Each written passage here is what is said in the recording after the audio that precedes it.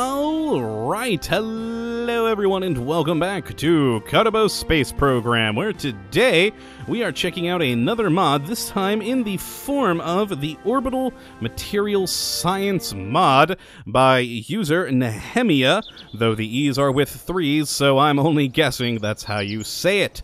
Uh, but this mod is really cool, especially if you like the science system in the game. Now, we are actually in a sandbox save, so I can't go into the R&D building, uh, but this mod is fully integrated into R&D and allows you to produce more science from your orbital space stations. Now, it's one of the big problems, at least in my opinion, with the science at the moment. You get kind of diminishing returns the more you do science in specific areas, and so stations in orbit have uh, limited uses with scientific experimentation. Now, this mod hopes to change that. So if we head into the VAB and just head right on over to the Science tab, not Utility, we get these eight lovely new parts that are, well, quite fun. I really do enjoy them. And the first part, and probably the most important part of this mod, is the NEMSL 1000 Material Science Lab. Now, this requires a single crew to operate at the least. And actually, I think it only holds one crew. Oh no, crew capacity two. So minimum crew one, total crew capacity two. And this basically creates research points, as you see test points per hour there on the description, and with at least one researcher in it. And this allows you to use these six experimental modules that you see up here. Now, if we grab this, and pop it up there and grab the cupola for size comparison. You'll see that that is the size of this science lab, or uh, material lab, rather. Oh, material science lab, it works either way, I guess.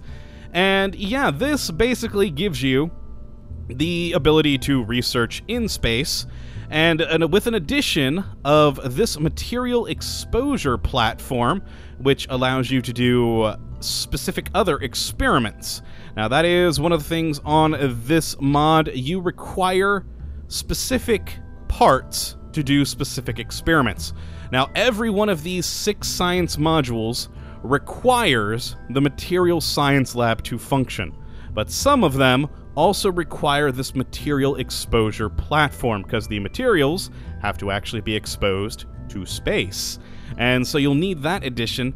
Now, two of the experiments on here. I'm forgetting which ones here at the moment. Ah, yes, the Cool Flames uh, experiment and the Capillary Flow experiment also have a dependency on another mod called Station Science, which are these parts down here. Now, this is a similar sort of space science mod, but it's not in fully fleshed out, uh, not quite as much as uh, the orbital material science mod up here, but it requires this THNKR Science Lab for these two experiments to sort of add a little bit of flavor and a little bit of extra scientific whatever you want to say to your lab. So if we pump that right up there.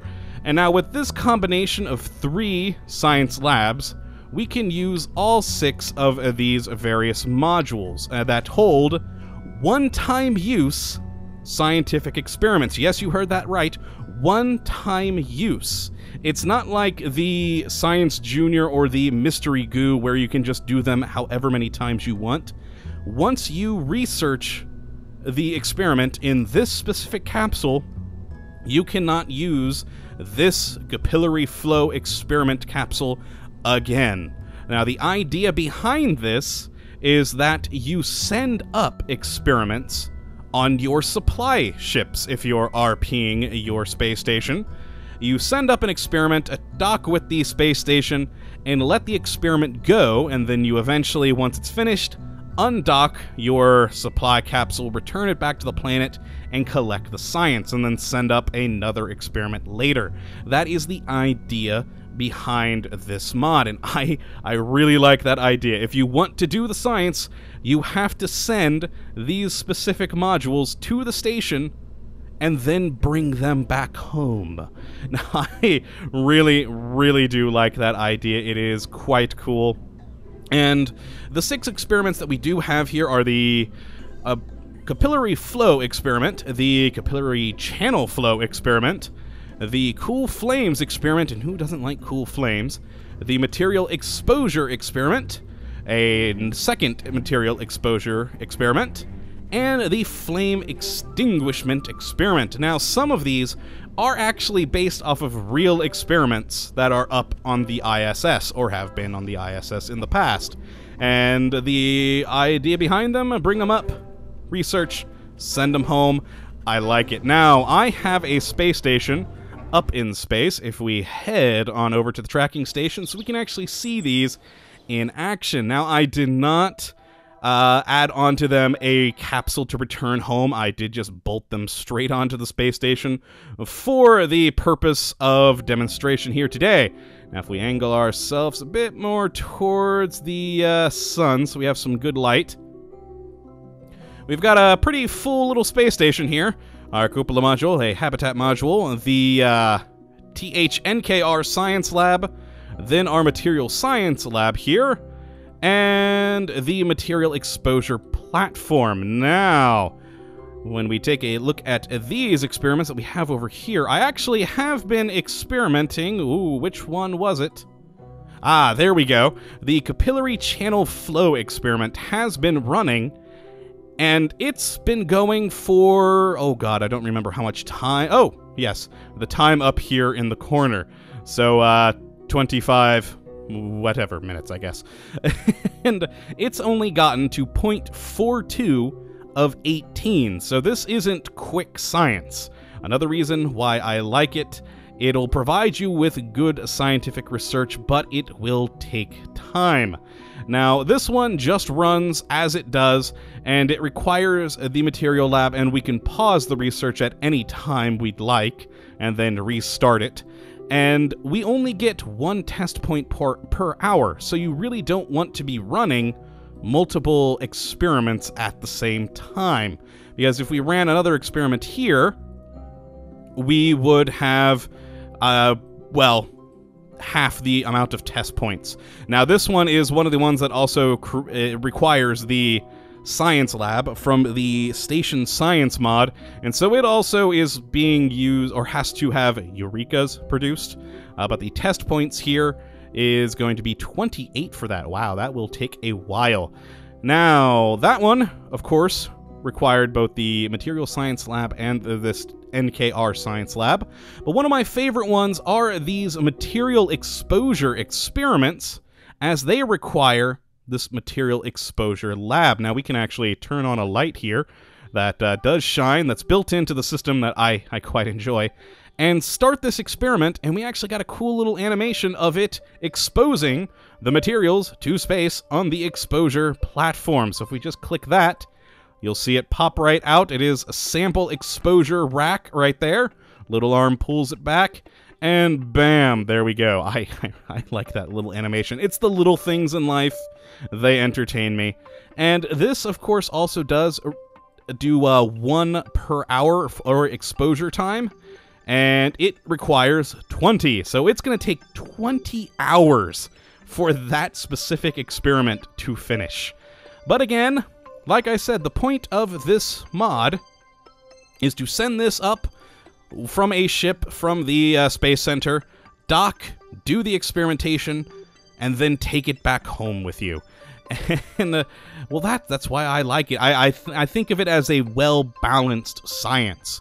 It takes a long time, but it does a good good science production, and it balances it out by taking that long amount of time and the requirement of taking it home.